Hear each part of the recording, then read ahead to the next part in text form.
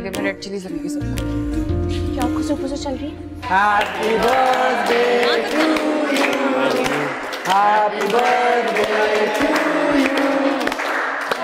you.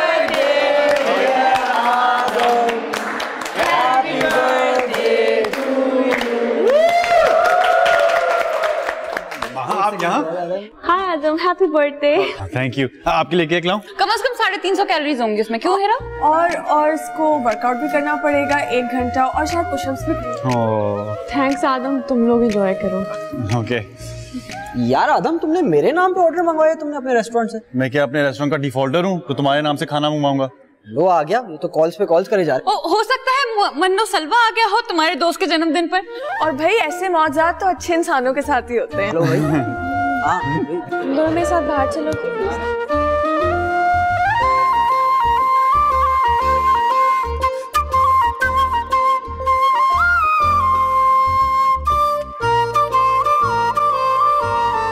ओह लगता है इसमें लार्ज पिज्जा बर्गर पास्ता और बन कबाब होंगे।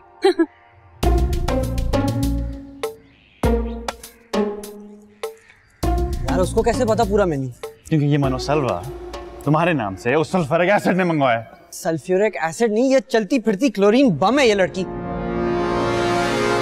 ये घटिया हरकत तुम्हारी थी ना नेहा? मैं कहा था ना खुजली अगर नेहा कुतुबुद्दीन के हाथ में हो तो नुकसान किसी दूसरे का ही होता। और अगर उसने अब्बा को बता दिया तो? क्या सबूत है सिल्वर स्पून के पास? माँ हाँ मनोसलवा का कोई सबूत नहीं।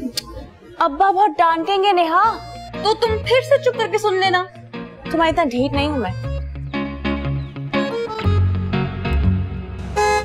बताते क्यों नहीं हो प्रोफेसर कुतुब को उसके कारनामे। यार फैमिली टर्म्स है हमारे। फैमिली टर्म्स का ये थोड़ी मतलब कि फुटबॉल की तरह तुम्हें पूरे कैंपस में यहाँ से वहाँ उछाले। मैं पूरा हिसाब ले लूँगा मैं बहुत जल्द। रहने दो। तुमसे नहीं होगा। और यार तुम नहीं जानते कितने गहरे हैं ताल्लुका गहराई थोड़ा कम कर लो ज़मीन से पानी निकल आएगा। शर्म करो। तुम शर्म करो।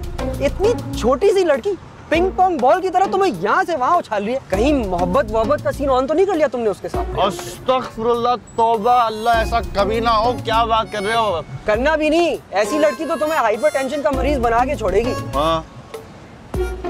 अच्छा यार घर चल मैं अपने हाथ की कॉफ़ी पिलाता नो थैंक्स बिला वजह के ज़्यादा ठूस लिया मैं तो जा रहा हूँ।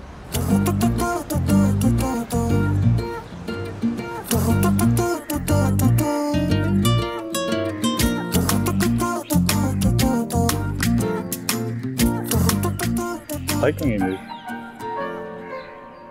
आया वो सरमद भाई ने ठीक रवाने दी होगी यहाँ से। अल मुख्तसर पाँच हज़ार छह सौ पचहत्तर रुपए का टीका लगा उमर को वो भी हमारे रेस्टोरेंट का।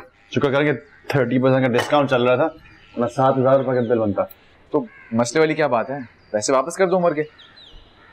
उम्र को पैसों की ज़रूरत है। लेकिन अकल की कमी तो है उसमें। भाई किसने कहा था कि प्रोफेसर कुतुब की इतनी ईवल जीनियस बच्चों की जहानत को टेस्ट किया जाए? वैसे मेरा ख्याल है कि गवर्नमेंट ऑफ़ पाकिस्तान को इस नेहा कुतुबुद्दीन का दिमाग जो है ना वो निकाल के प्रिजर्व करना चाहिए ताकि आगे जनरेशन स्टडी करें। कि इधर जीने का दिमाग चलता कैसा है? लेकिन तुम्हें ये देखना है कि शाम को अब यही इवल जीनियसेस तुम्हें बर्थडे पे क्या गिफ्ट देंगे?